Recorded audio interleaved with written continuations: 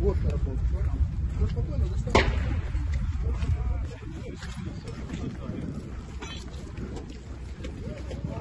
Слава Україні!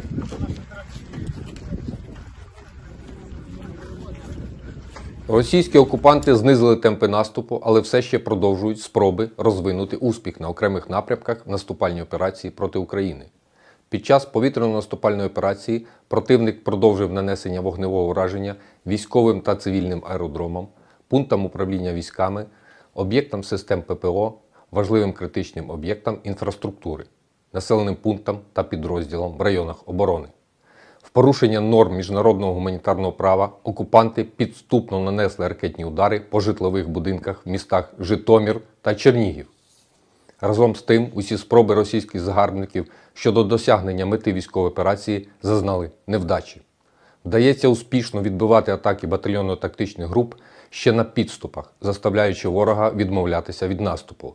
Противник деморалізований та несе великі втрати. Станом на сьогодні артилерійським вогнем тільки однієї з українських бригад знищено понад 5 колон ворожої техніки та живої сили російських окупаційних військ відзначено часті випадки дезертирства та непокори. Ворог зрозумів, що пропаганда і реальність відрізняються, окупанти нас бояться.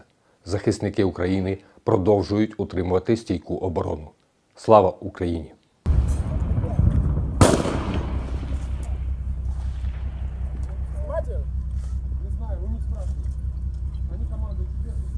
Не